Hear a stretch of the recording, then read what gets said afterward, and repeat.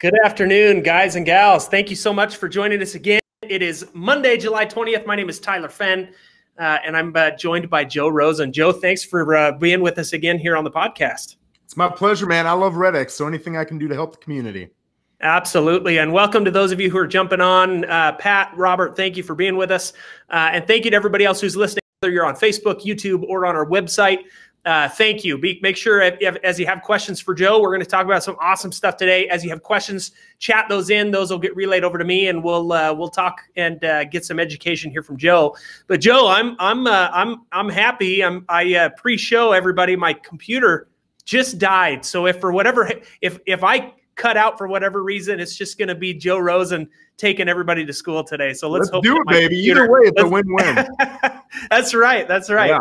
So, uh, Joe, I'm I'm super excited. Again, you've been a guest on the podcast before. Uh, and it was a fantastic podcast. We uh, we are excited. We've got Robert. We've got people commenting in. They're going, man, we love his energy. Welcome, Joe. So people are excited to listen to you today. I want to talk because this is a crucial thing. So before we get into lead follow up, and if we even get to that, um, let let's talk a little bit about why. Right. Let's let's talk a little bit about that because because I think that you'll be able to educate us here because that's important, mm-hmm. right? And um, we mentioned just briefly pre-show. Everybody, everybody has a why, but I think that that that why is easy to remember when things are good. But it's when things are hard that that why really matters. But I think that's most often when people forget that. Is that is that a fair statement? Yeah, yeah, that's pretty accurate. Uh, so, so so how so what is the why? Tell me tell me tell me what drives you and what motivates you and and and maybe people can take some things from that and uh, and and analyze their own business a little. Yeah. So I think that um, we're going to get into hopefully the difference between motivation and discipline. That's a big part for me too. Um, but for me, right, I've always believed that there's a why that pushes you and a why that pulls you. Uh, I think there's a positive why and a negative why, right? And I think that everybody likes to focus on that positive why. And I'll tell you what my positive why is because it's the one that everybody likes to discuss. It's simple, it's easy, it's fun. Uh, and that is, I like to challenge myself.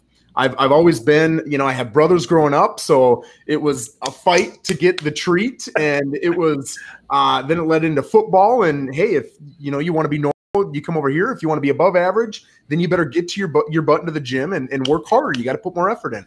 So I've grown up in a competitive uh, environment my whole life. When I got into the army, it got even more competitive, and I've just always had that desire to. I, I honestly don't care about the money at all. The money's cool; it gives you a lot of great opportunities to do bigger, better things but it's the challenge, man. I want to challenge myself every day, every month, every year to get bigger, better, to produce more, to give better service to my clients, better service to my team members. Always find the best technology, whatever it is. It's that challenge that drives me. But then going to the negative why, uh, when I was in the army, I was in for 10 years. I was in Afghanistan and deploying, being away from the family, all that stuff. Uh, you ask for that when you come in. You know what you're, you're right. signing up for. So, you know, don't feel bad for any of those guys. They chose that.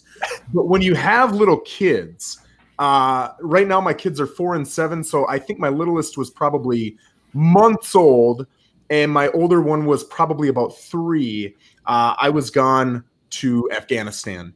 And it's really tough because of what we did. We go on a mission. That might, mission might be a day. It might be three weeks. no idea. And it's it's not because it's a secret. It's because it depends on what happens. Do we go in there and kick butt and we're back home, or do we get our butt kicked for a little bit and it's going to take a little bit? You don't know.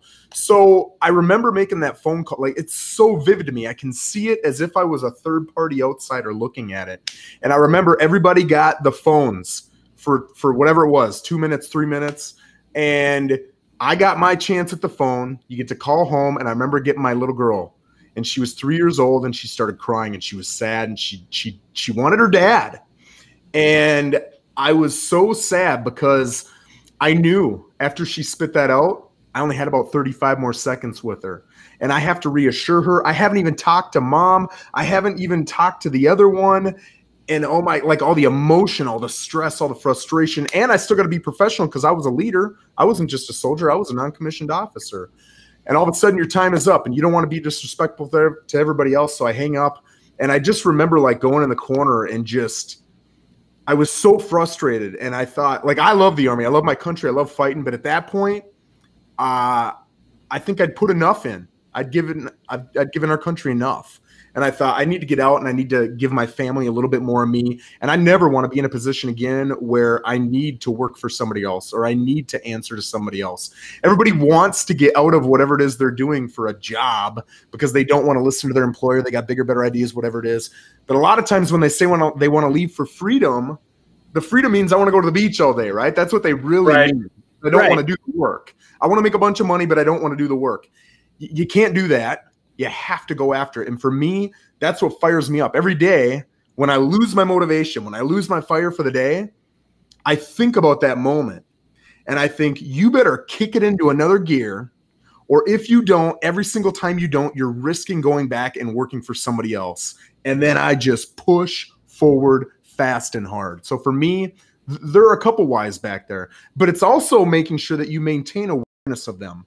Because if I sit down with a soldier in the army right now, someone on my team, and I have that discussion with them and say, What is your why? Why are you doing this?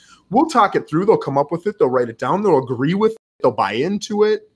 And then 30 days from now, when they're being lazy, and I'll say, Hey, what about that why? I'll get a little boop, a little blip from them. Like, oh yeah, I forgot about the why. So you can't just have the why. You can't just think of the why. You can't just write the why down. You have to have some sort of apparatus to keep that why in front of you, always pushing that through your brain. So, so that that story, right? I've got kids, and as you're as you're telling this story, right, I like I'm getting emotional, going, that is a terrible position to be in, right? That yeah. is that is hard, um, and and and for you to be able to draw on that is is is so huge, right? For yeah. you be able to be able to remember to go, I don't ever want to feel like that again. I don't yeah. ever want to feel like that, and that's that's huge. But what about what what about somebody who doesn't have a defining experience like that that they can draw on, right? And, and maybe that's where maybe that's these people that you just get like a boop, right? They, there's a little bit of productivity, yeah. but there's not something that's so. How do you how do you connect the emotion? To to the activity that you have to go through every single day because that's maybe that's I'm hearing that's maybe where a disconnect is. Yeah. That's really tough because you're right. When I think of the biggest studs that I've ever met in the military, uh, when I think of the biggest studs I've ever met in real estate, I, look at like Tony Robbins is a stud. If you go back and you listen to his yes. why, it's it goes back to his childhood and how it was horrendous and his his dad's relationship with him. David Goggins, you know David Goggins is? Yes, yes. That guy is a stud. Yes. But when you look at his why, it stems from all the horrendous things that happened as a child. And I was I joke with my wife because we talk about this a lot.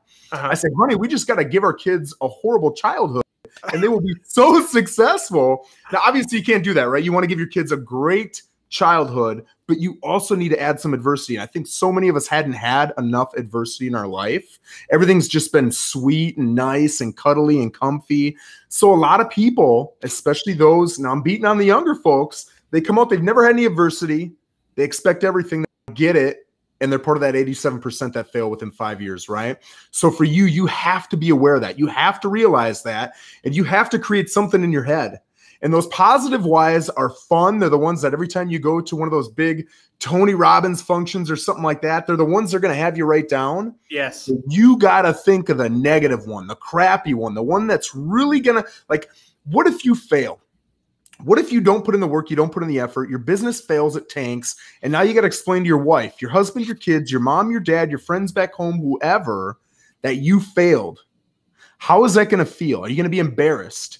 what are you going to do? Are you going to have to go work for somebody? Is that going to suck? Because now you're working maybe eight hour shifts, maybe 12 hour shifts. Maybe it's eight some weeks and it's 12 the next. It sucks, but you're yes. at the will of somebody else. I don't ever want that. And you have to think that through and you have to be mature enough to take the steps to think that through because real estate, you're not working for anybody, man. It's your business. I don't care that you're for, with a brokerage or you've got a coach or you got a team leader. Everybody on my team, they're running their own damn business. I help them, I mentor them, but it's their business. So if they fail, it's on them. So you really need to think of those things with a mature mindset and build your own why. And you're right. The less adversity you've had, the more challenging it is. But that is where maturity comes in. Yeah, that's amazing. And and you mentioned you mentioned David Goggins, right? His book uh, "Can't Hurt Me," right? I think that's the name of it. Can't. Yeah. Hurt. I mean, yeah. you read that book, and and and I, I, experience the same emotions as I'm putting myself in your shoes, right? As yeah. you're making this two minute phone call and, and and like even as I'm thinking about this, right, I get a little emotional. Going, I'm a father. How, how do I do that? And and I think you're right. There's this. If you haven't had those experiences, there's a process to there's a process to train your mind to go yeah maybe there's not one experience that i'm drawing on but but there's an emotion that i have to attach to to what's going to happen if I don't succeed, yes. right? And yeah. um, and for some people, I, I think for a lot of people, it might be looking back, going, "Yeah, I don't want to work for somebody else," but you have to tie that emotion to it so that your activity yeah. will continue to reflect, right? So let's talk a little bit. You mentioned and I think this is a natural segue into this: is the difference between motivation and discipline, yeah. because I think that's where I think that's the key, right? Is is yeah. motivation is fantastic, but discipline is what takes motivation and turns it to action, right? Yep. So let's talk about that a little bit because um, because there is a difference, even though maybe people don't don't think that. So what's the difference between yeah. motivation, right? This desire to go out and do something, and discipline that that really takes that motivation, turns it into something. I love that you asked this because I've been wanting to watch The Last Dance forever. And I just I'm so busy I don't have time to figure out which subscription I have to have to get it. And I just I kind of forgot about it and I noticed it popped up on Netflix last night and I watched two episodes and I like boom, I shut off the TV. I went to bed a half an hour early. I woke up a half an hour early and I got to work. And all day I've been thinking, I'm the Michael Jordan real estate. I'm the Michael Jordan and I'm like I don't care what anybody says. I am out to crush it. And that's how I felt all day long. And I guarantee that's going to last two, three, four, five days. Maybe it'll last a week or right. two. That's motivation. Motivation is me coming in and yelling at you and firing you up. Tony Robbins giving you a big rah rah speech with fire behind him. And that's motivation, right? Motivation dies out. It's fun. It's awesome. It feels good. It's interesting, but it dies out every single time. I don't care who you yes. are, it dies out. Discipline is you being mature enough to know it's going to die out. And when it does die out, you still do the thing you know you need to do to be successful. That is what's important. So I think so many people want. I'll talk about a team. I attract a lot of people because the energy I have on my team. I attract a lot of people who aren't motivated and they look at me as the magic pill. And I tell them, listen, that, that's not why you're coming on this team because it's not going to happen. I'll make you successful for a month, but after a while, you're going to get sick of me yelling and, you know, get to this and do this. And you got to, pretty soon, you're just going to be annoyed because if you don't want to do it yourself, you're not going to like me telling you you have to do it. And I'm not your boss. I'm the team leader, but it's your business. So you have to want to do it when you don't necessarily feel like doing it, or it's not going to matter anyway. So for me, discipline, again, it goes back to maturity, right? Like everybody can do it when they're motivated. You need to do it at whatever your minimum standard is every single time, whether you want to do it or not. So, so I, am with you, right? I think that I think, and I and I like the way you said this. You said, um, hold on, let me think exactly how you said this. You said you have to be mature enough to recognize that motivation dies, right? Yeah. And and uh, we all love. I I personally, I love love motivational speakers, right? Yeah. I mean, there's there's some books that you listen to, or when I get to when I get to see people speak live, you walk away from those and it's like, yes, there, yeah, there's dude. like this, there's like this burning in your bosom, yeah. and you're like, I can do anything. anything. That, yeah, like you said, that lasts. Uh, uh, you know, ask any gym owner, right? That lasts yeah days, weeks, whatever it is. Yeah. And and uh, and I think I think you said it right is there's a maturity that we have to like this emotional awareness that we have to have where we go I'm not going to feel like this forever.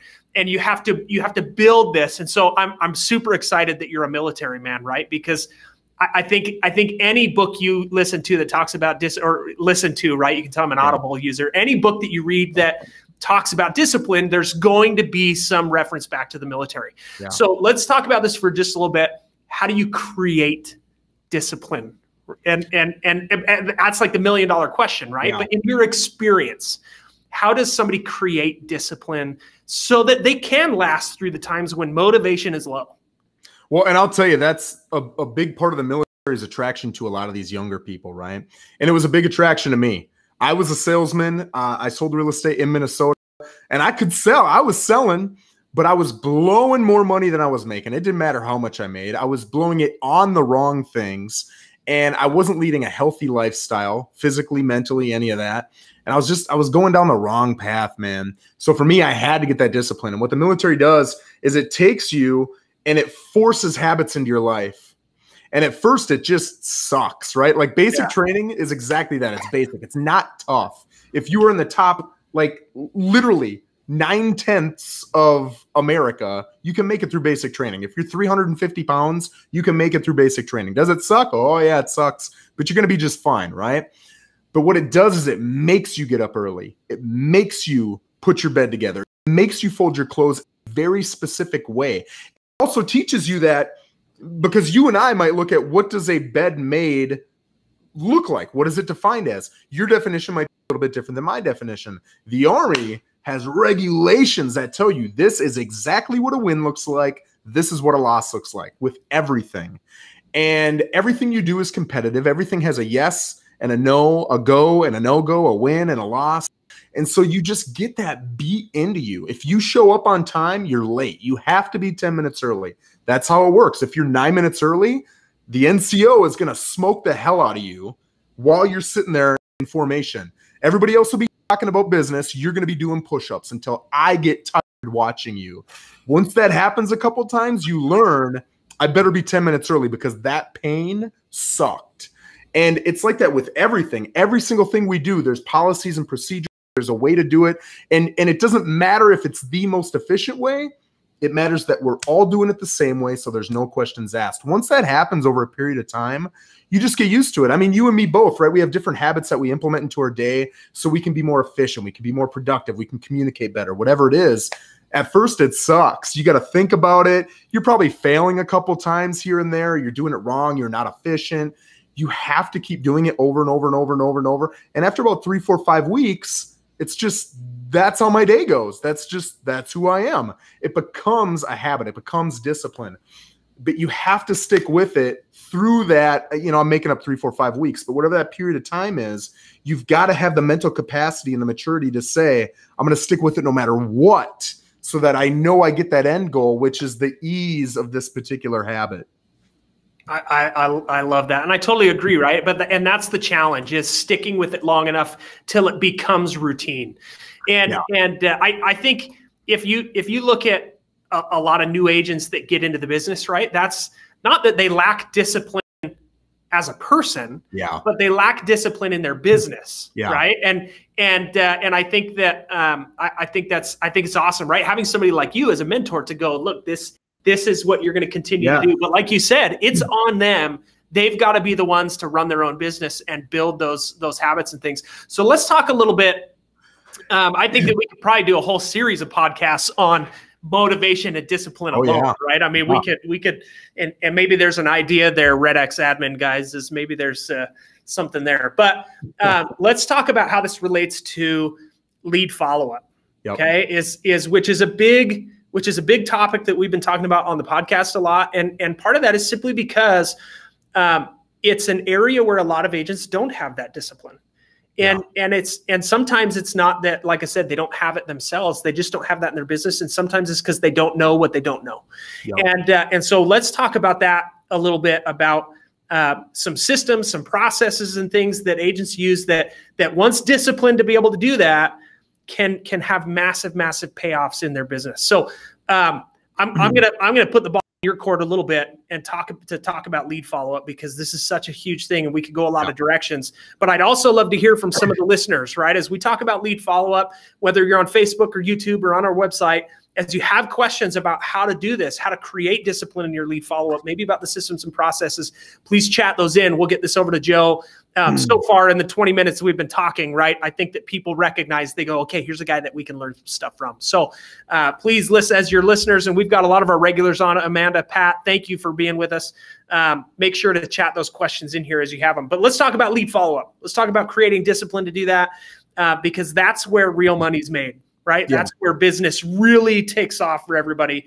So how do we have effective lead follow up, right? How do how do we do that? Yes. And the cool thing about being experienced is I have failed for you guys, right? I can tell you exactly what I did that I wouldn't say it didn't work, but it didn't work as well. and I can also get into what is now working really well for me, right?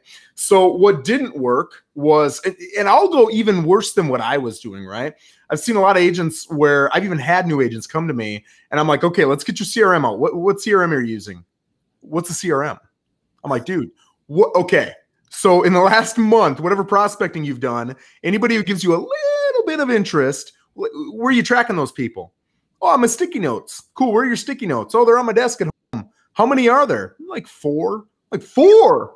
Dude, that's what you should get in a half an hour. What are you talking about? So I, I think just getting a CRM period is your first step. Like it is magical what a CRM can do for you, right? Um, so my CRM, because I was cheap, was a, an Excel spreadsheet and I'd put it in there and I'd put the next call date in there. And then when I got done with all my calls, I'd highlight them all and I'd sort them in order of next call date again. So it put all of them back to the top again. And uh, that works. It's it's like really fancy sticky notes, but it's still super slow. And once you right. see what CRMs can do for you, uh, it's absolutely amazing how efficient you can be. So let's get to your initial question, which is like lead up, right? Uh, a buddy just told me this statistic. I hope I'm repeating it correctly. That there was a Harvard uh, business study, and it said, okay, how many uh, follow ups do you need to make on average to actually get a deal done, right? So when you look at the deals that actually get done, how many times did you have to contact them before it happened? And it was seven point something, right? Mm-hmm. So for some, you might need to contact them 15, 20 times. For some, it's once or twice but on average, it's seven something. But they say the average realtor will follow up 1.5 times. Okay. Now, I might not be remembering these numbers 100% correctly, but they're pretty doggone close. So, what you're seeing is a huge disparity between what you need to do and what they're actually doing. And I think if you want to look at lead gen, people get they get frustrated with lead generation. I got to put in time, I got to make the call, I got to get rejected, all these negative things that are associated with it. But I'll tell you, if you're only following up 1.5 times, I can see why you're frustrated. I'd be frustrated too. You have to add that element. And, and I think it's really important to separate lead gen and follow up into two different time blocks of your day, which, my gosh, I just said like 17 things. Blocking off your time is absolutely critical. If you just wake up and you show up to work sometime between eight and nine o'clock and you just start making calls until you get bored, and then maybe I'll go into my CRM and make some follow up calls, it's never going to happen. My whole day is filled with people getting in touch with me in ways that I wasn't planning for, at times I wasn't planning for, wanting me to get back to them in ways and times that I haven't planned for. So you need to have as much structure to your time as you can. And once you block that off, the first two things for me that are absolutely critical is CRM time and new lead generation time. And they should be appointments. And I can't tell you how often people will say, Well, I haven't made calls because this popped up, or I haven't made follow ups because that popped up. Uh, are you going to say no to a listing appointment because something pops up? No, you're not. You're going to go. You need to go make your calls and you need to go follow up through your CRM because that is the lifeblood of everything that you have. And if you let that go, your, your whole business is slow for the next 90 days. Yeah, I, I totally agree. And and as you know, being here at Red X, I've been here over 12 years. I've talked to lots of new agents, right? And there's typically one piece of advice that I try to give mm-hmm. when somebody when, when we're having this type of conversation, and that's you've got to you've got to be in control of your calendar. Yeah. You've got to be in control of your time because there are so many distractions nowadays. And and sure, I, I mean, I, I, somebody somebody a friend uh, uh, texting me and saying you know hey can can i get a uh, you do a desktop appraisal for me you know what's my house worth yeah. can you pull some yeah. comps like like that's related to business but it's not directly related to mm. making money. Yep. And so and so there's things that come up that we go, "Oh, well this is important and it helps me feel like I'm being busy." But at the end of the yeah. day, we go, "What did I get done?" Yeah. And a lot of that is because people aren't in control of what they're doing with their time. And so that block time, I couldn't agree with you more, right? Is is having prospecting and follow-up, having those in your calendars to go, this is sacred time for me to generate new contacts and this is sacred time for me to follow up with those that word sacred is absolutely the key, man. I'm going to add two. I, I, said there were two important blocks, right? Follow up and lead gen. I want to add a third one, which is create tomorrow's schedule today. Because if you don't do that, you're going to have a schedule today, and then tomorrow morning you're not. And then you'll be like, oh my God, today was horrible. So then you're going to make one the next day and then forget the next day. Every day I've got 15 minutes blocked off where I just go in and create my schedule. Nothing, it's just like another appointment, right? Just like a listing appointment, just like every other appointment. It's an appointment with me to create the successful day I want to have tomorrow. And another plus to that is when I show up tomorrow as employee me, I report to executive me, CEO me yesterday, who created that schedule for employee me. I don't have to think. I'm spending zero time thinking. All I'm doing is executing really fast. And for 15 minutes a day, I slow down, put my CEO cap on, and I build my next day. Well, and I and and you've you've touched on this whole different aspect that we haven't even brought up, right? About accountability, yeah. right? And and wearing these hats is going to have to be accountable to myself. And sure, nobody's going to slap me on the wrist. Yeah. But then then it goes back to how we started the conversation, right? What's the why? Why do you do what yeah. you do? Uh, and uh, and I and I love that again. Accountability. That's a whole other thing that we could get into and methods of doing that. Uh, but but I think that your why, what we started with, should be the underlying foundation for that. Absolutely. Is is I want to, like you said, I'm competitive. That drives me. Yep. And and what pushes me right like the, the competition pulls me but what pushes me yeah. is the fact that you want to be free you want to have time with your family you don't want to work for anybody else you don't want to go back to that two minute phone call with your three year old right yeah. Um, and uh, and and that's that is that is awesome. So we've talked about th- a couple of things here. We talked about about three time blocks, right? Is is is time to prospect and, and generate new leads. You talked about time to follow up with those leads. Yep. Let's focus on that a little bit more, right? Because there's this gap between how many times agents follow up and how many times they need to follow up, yeah. right? And it's a big gap. So what is what does that look like in your business? What does lead follow up look like? How often are you following up? What methods are you using to do that? To make sure that you are not letting anything slip through the cracks. Yeah. So everybody who comes into our CRM, uh, we give them a stage, right? And that stage basically, it, it doesn't have to be 100% perfect, but it lets you quickly think how interested are they in making a move right now, right? So we've got, I'm making these up off the cuff here, but I think active client is, we follow up with them literally every day and it's a call every single day. Now, if they don't like calling and everything else, and they're like, hey, would you please text me? Sure, we'll text you, right? Whatever you want. But it's a call first, unless you tell us otherwise. And I think that's critical. A lot of people want to text, they want to Facebook DM, they want to email because it is efficient, but it doesn't give you like you have to do voice to voice. There's so much emotion, there's so much fear, there's so much concern that you get out of that person if you have that voice to voice. You're not going to get that in a text. I just had a really good friend of mine, one of my mentors, call me. This was about a month ago. Said, Joe, I've got good news and bad news. I said, What's the good news? He said, You're going to be a better agent tomorrow. I'm like, mm, Yes. What's the bad news? He's like, I stole a listing from you. I was like, Really? He said, Yeah. They said you kept texting them. You never called them. They didn't like that. And so they went with me because I actually called them. I was like, Son of a gun but that's fair, right? I I, I didn't yeah. do the right thing. So that's an important lesson to learn and actually getting that voice to voice. But uh, so anyway, I've got the call every three days if they're doing something in the next 30 days. Uh, then I've got it's called a short-term nurture, it's once a week. I've got a long-term nurture, it's once a month. And then we've got it's called a prospect, which you don't have a timeline. So we get in touch with them every three months, and it's uh, email or text, email or text, email or text, and then after 12 months, it's a phone call, right? Because you have to get that voice to voice.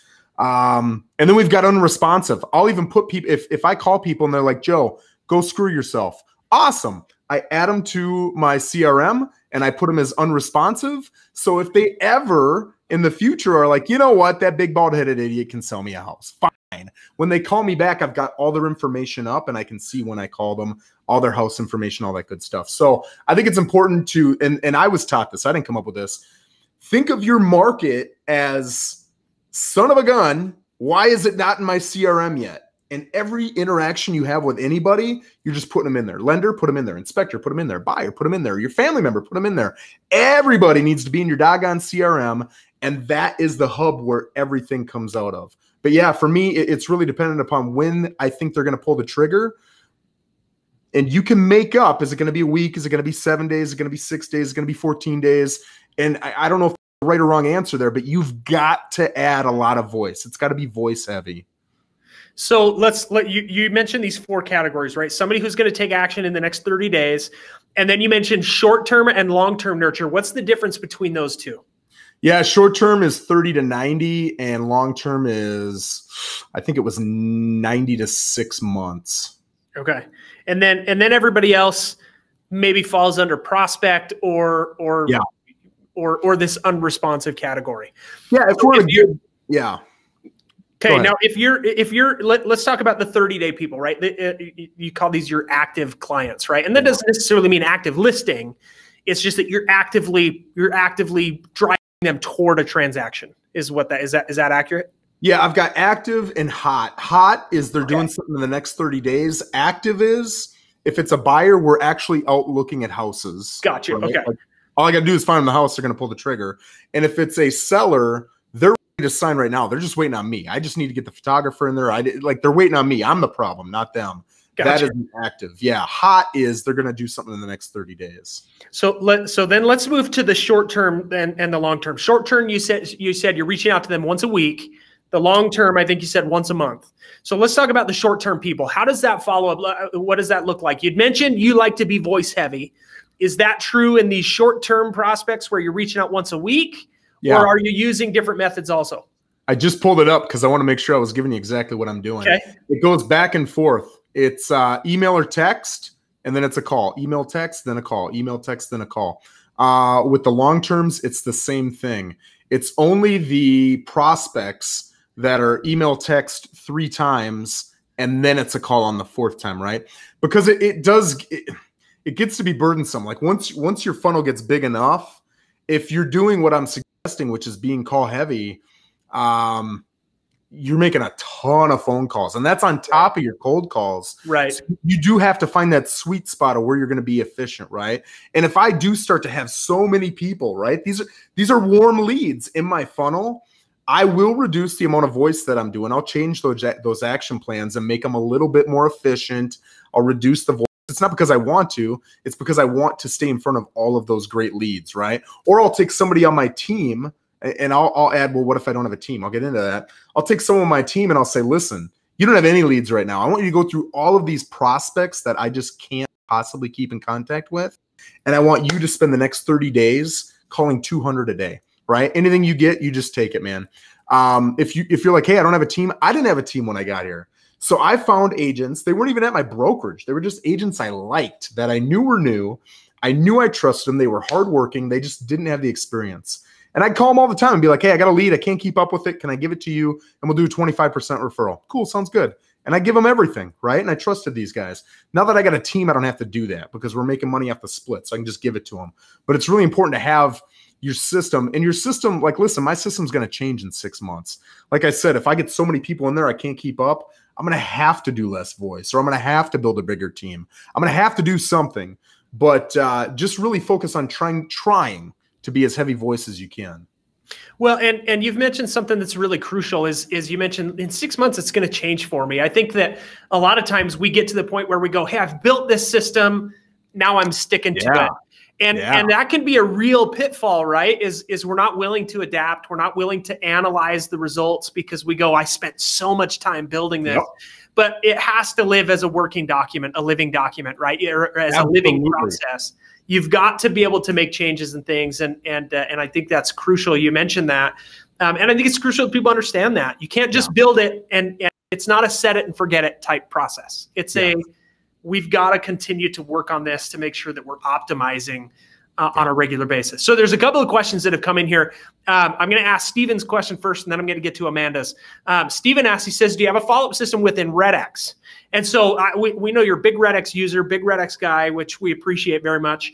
How does that tie into your CRM? How do you use those two in tandem? Because if I had to guess, I'd say probably 60% of our customer base use them together. What does that look like in your business where you're using RedX to generate leads and we've got a whole system there, but then you're using a CRM? Yeah. So um, I know you guys have either a you have a CRM or uh, like, we, I'd call it a lead manager. It's not quite as okay. robust as as yeah. as some of these others that are out there, but okay. it's designed specifically to follow up with your leads to get them to the point where yeah. I'm ready to take action on this person. And so, and I'll tell you, like just about everything that I do, it's because I know people who are more successful than me. They're at the next level. And that's one of the reasons I, I am not pitching brokerage here at all, but it's one reason I went to the brokerage I'm at is because the people that I want to be like, there's one that's a step ahead of me, there's one that's two steps ahead of me. I'm meeting with those guys every two weeks each to see what are you doing, what are you changing, what did you get rid of, what are you adding, and I think that that's absolutely critical. Uh, what was the Red X? So what I do is I use Red X. I love the what's the dialer Vortex Storm. No, Storm. Mm-hmm. Uh, what, what, oh, Vortex is where all the leads come into. Yeah, yep. okay. Uh, I love the dialer, and I, am pushing you guys. I hope you guys get into Follow Up Boss because I'm using Follow Up Boss. Um, and I think you guys are working on that. But right now, I'm using Mojo because of that, right? So I'm taking all the Mojo data. I'm putting it into, I'm sorry, Red X data, putting it into the Mojo dialer. Mojo integrates with Follow Up Boss. And then a lot of things can come into Follow Up Boss, right? So if we've got uh, Zillow leads, if we got Ylopo leads, if we got whatever, there's a slew of different leads you can after. They can all come in there, and I got one hub. But that driving force, if, if you're an absolute stud and you're really busy, just get in a follow up boss and do your job, right? But if I've got guys who are newer and they need to add to that, right? You have to get into Red X. You have to get that data. You can take that data and you can put it into your dialer, whether it's you know whatever dialer it is, and then that dialer. I, I think it's really important to follow up with if you're going to use that dialer and you're going to and you, you have to have a CRM. I can't stress how important it is to have a good, strong, efficient CRM. It changes completely. I'll give you an example here in a second. How much you can keep in front of people and do it efficiently, right? But if you do it the way I'm saying, I'll just get into it right now. What I was doing was I wanted to contact, like my follow up might be 40 or 50 a day, right? Well, I would get so busy, maybe I'd do 10 and I would drop 30 or 40 of them. I just wouldn't contact them. Well, the next day I've got another 40. Plus the 30 I missed yesterday, I'm at 70. Plus, I still got to make my cold calls. I'm like, holy crap. So it gets overwhelming once you get busy, right? Um, a good friend of mine, that mentor who's two ahead of me, said, listen, man, if you get yourself a good CRM, you can build a text that says, Hey, this is Joe. I really want to get in touch with you. I owe you a conversation but I ran out of time today. So I am going to contact you sometime in the next two or three days. If there's anything you need before I reach out to you, just get in touch with me. And then you can mass text that to everybody, right? So if I'm 30 behind, I just boop, boop, boop, send it to 30 people. It's done in a minute, and boom, I've kept in contact with everybody. I might get three or four texts back saying, Joe, I need to talk to you right away tomorrow morning. Cool. You guys just prioritize tomorrow's list for me. Those three or four go to the top, and the other, whatever it is, 26 are at the bottom of the list, and I, I get in touch with them when I can.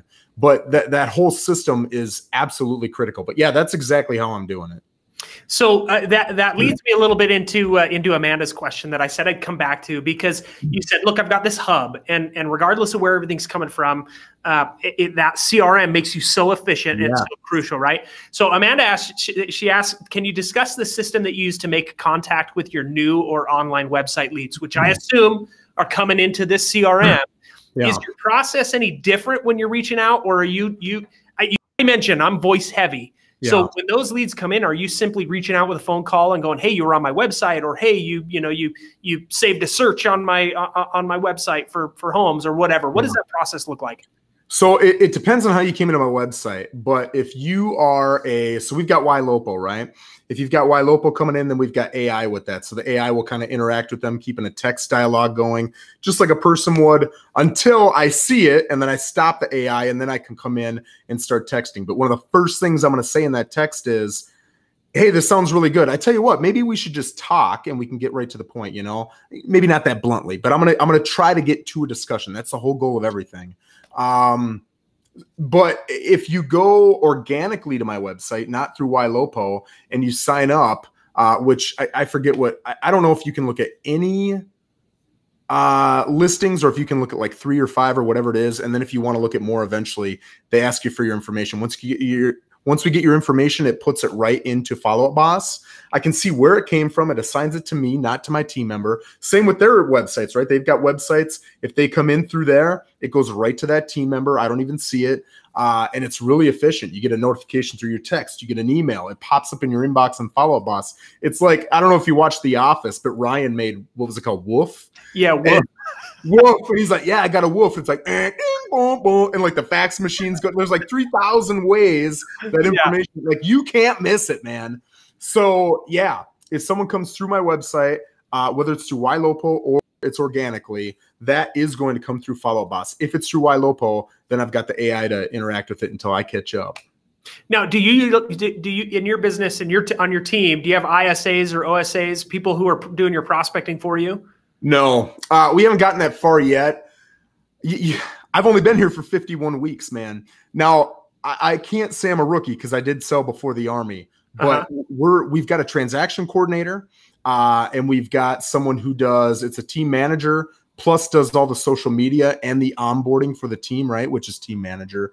Uh, those are the only non-sales positions that we've got are the transaction coordinator and the team manager. That's awesome. So, yeah. so it sounds like the CRM for you is crucial, right? You said, look, that is that is key. Is having a system. Money. Yeah. Um, let let's let's talk a little bit more about how you utilize that, right? We we talked about um, we talked about your hot leads, your short term, your long term, and and then these prospects, right? Yeah. Uh, when you're reaching out to these people, that you said sometimes it's you know three three text messages and then and then a phone call, right? Or or yeah. one text message, email, then a phone call. What what what what reasons or what excuse do you use to reach out to these people? What is some of the content of those that yeah. that doesn't feel that doesn't feel like you're a sales guy, right? Um, even though, like, let, let's face it, like real estate, you are a salesperson. That's what you do. Yeah. But so often we don't want to come across with with commission breath, right? So, what yep. reasons do you use to reach out to these different people? Um, and then, and then, it, it, so let's talk about that. That's a that's a great question because it alludes to a, a, very specific point, which is very important, and it's that I think a lot of newer and just less experienced agents they'll just come at it, right? If I tell them as a team leader, you need to reach out to this guy once a week, they'll just text back and say, "Hey, it's Joe. Are you thinking about buying? What's going on?" Or you know, maybe not quite that blunt, but it's it's pretty blunt. Yeah. And if you read that, you're feeling this guy wants to make money off of me. My true intent is genuinely. I mean, I tell people all the time. I, I don't care if you buy, sell, whatever. I I just said a gal today. I was just talking with her and she said hey i gotta admit i was talking to another realtor because i just I, I, felt bad because i knew it was your your family day and i didn't want to bother you do i have to pay that guy or how does it i said listen you need to pick a realtor but i don't care who it is you can pick that guy you can pick me it doesn't matter but you really do need to pick one because otherwise you're, you're kind of cheating on both of us you know what i'm saying and she was like I get it now. I fully understand. I didn't fully understand before. I appreciate you telling me. I'm going to call that guy right now and, and let him know. Now, hopefully, she actually does that. But I think when you come with the intent of truly helping people and not just to sell, it's incredible how far that will take you to actually sell people, right? Um, so, what are some of the things that I say? One of the big things I like to use all the time is, hey, I, I just want to make sure I wasn't leaving you hanging and then whatever it is you're about to say, right? I'm just following up and I want to see is there anything else I can do for you? I also like to say, hey, I, I, sent you A, B, and C a week ago. I just want to follow up with you. Let me know what I can do and put me to work. I like saying put me to work because it makes it like one of the big tips you hear from people is this guy's lazy. He doesn't want to show yeah. me houses. He lists my house and then I don't hear from him for six months. I think if you present yourself as, I want you to work me, let's work, they like that. And they think this guy's going to go the extra mile. So I always like to throw in, what can I do for you? Dot, dot, put me to work. Um, I really think, too, it's important to just be real with people. I think a lot of agents are scared because what if I turn this one prospect off by saying something that's a little bit more personable? Um, and, and, it could be viewed as less professional, but I think it's the way to build that rapport, right? So I've said before, um, let me think of an example. I had a guy I was working with for a long time. We were on the road to getting him a house, and all of a sudden he had an issue pop up on his credit. Boop, there, there it went, right? And he said something like, Man, this really sucks. And I wrote him back a text and I said, Listen, man. And I wrote, Man. I said, Listen, man, you're going to be just fine. You need to figure out what your path moving forward is, get motivated about it, and and he was a really religious guy. I said, "You're religious, man. Talk to your God, pray about it, find a path forward, and you will be successful." I'm your guy. You let me know when I can help you. But it was a more personal message, right? It wasn't there was no script. There was no I wasn't reading anything. There wasn't a preconceived template. It was me truly reaching out to that guy with my genuine feelings. And I think that there's that fine line too between like one of my best friends who I, I take a lot of stuff from. He's got templates for everything. Like those guys are so automated, which is awesome. He's quick. But for me, I think that my conversion ratio is so much higher because does it take me more time? Yeah. But when I give you a message, it's more personal and it connects better with you. So for me, um, I want to make sure I'm not leaving you hanging. How can how can I get to work for you? And uh, something that really connects with them from whatever you've been talking about.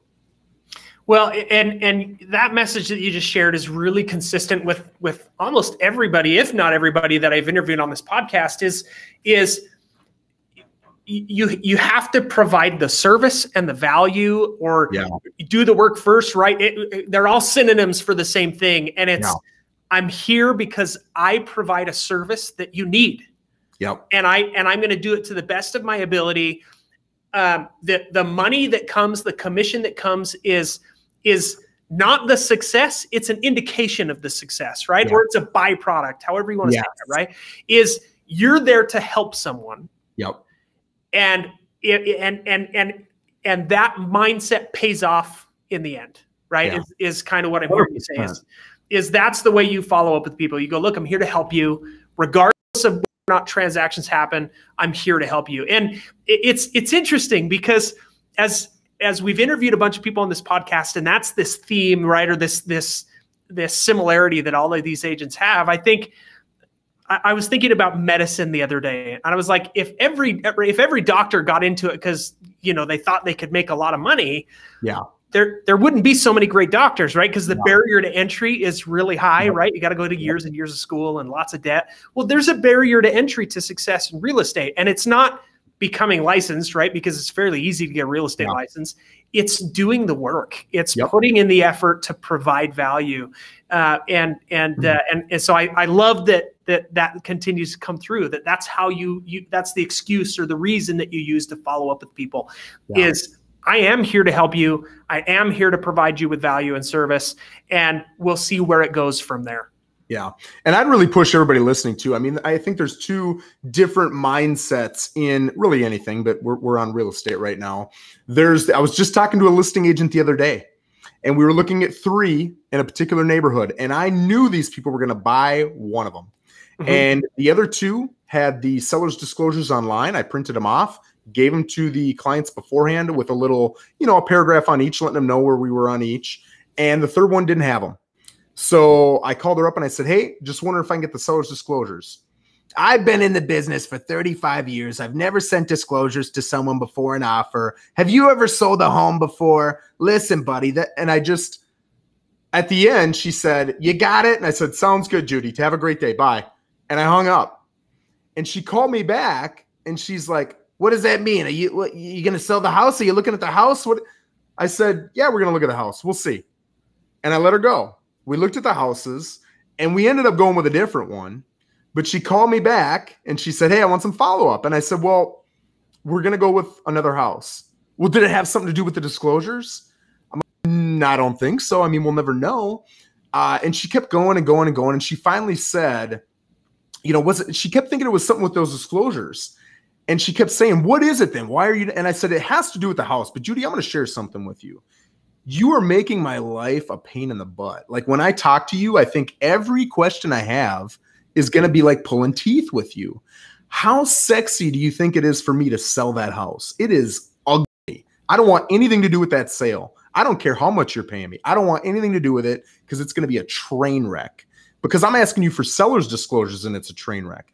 These other guys, are banging down my door asking me, Can I get you more information?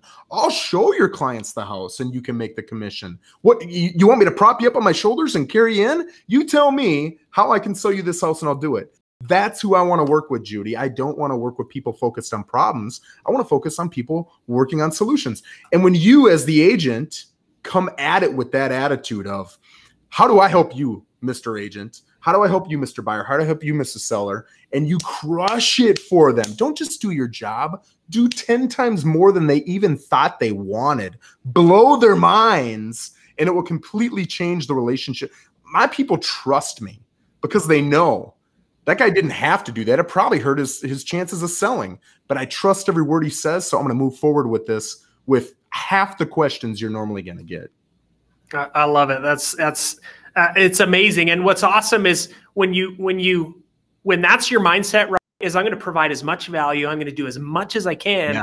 It means that you do get to be selective with who you work with, both as clients and other agents on the other side of the transaction. Is yep. is uh, and I think that what we'll see is I think the agents that outlast down markets, right? And and markets are are weird right now, right? With COVID, people we we thought there was going to be all this downward pressure and and and there were some blips through a few months there, but I think most people are going, I'm so busy, right? It's like different, right? yeah. yeah. So, but I think that that's what that's what makes the difference between agents who outlast markets that have downward pressure is those that go, I'm not in it for the commission. That's the byproduct of the success yeah. that I that I put yeah. in and, and the effort that I put in, and and that's great, right? We've got to have the commission to pay the bills and keep the doors open, but that's not why we do it. We do it because we want to, like you said early on, I want to fulfill my why. I want to be challenged, and I don't ever want to go back to having to work for somebody else. Yeah. And I'll tell you, I, I'd all day long rather sell less homes to people who are blowing up my Google reviews than to more people who are like, eh, he's okay. Didn't really get back to me, but we got the house. We're, we're happy. I don't yeah. want that. Like that would that would tear my heart. Like I wouldn't feel good about that at all. I wouldn't be proud about that. When I'm looking at that Michael Jordan documentary, I'm seeing him sit in that chair, man. He's sitting back, chest out. He doesn't care about anything because that dude knows I don't care what you say. I'm the best. I put everything I had into my career. I am the best. I want to put in so much effort that when I'm 50, 60, 70 years old, I can look back and say, I don't give a damn what anybody says, man. I am so proud of what I did for so many people, my attitude, the work ethic I put in, my honesty, my integrity, that I'm just beaming with pride.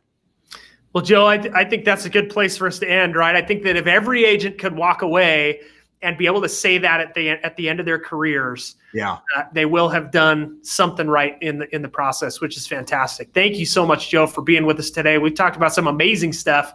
Uh, we'd love to have you back on the show, talk about more amazing stuff. So thank you. If you'll hang tight with us, we'll go over a few things uh, post show. But thank you so much for taking time out of your busy day and uh, and sharing some things with us. Thank you everybody for listening and being with us. Uh, whether you're on Facebook, YouTube, or on our Facebook page or on our, our website, make sure that you're subscribed to the updates for this podcast. We have the next several weeks booked out Monday, Wednesday, Friday at 1.30 Mountain Time. Uh, there's amazing guests to talk about more uh, uh, incredible things to, uh, to bring value to your business. Make sure you're subscribed to the updates by going to the redx.com and clicking on the podcast uh, the podcast link that's up in, in the uh, website header, and you can subscribe there. Joe, you are the man. Thank you so much for being with man. us, and uh, and and thanks for taking time out of your busy day. Everybody, we'll see you on Wednesday.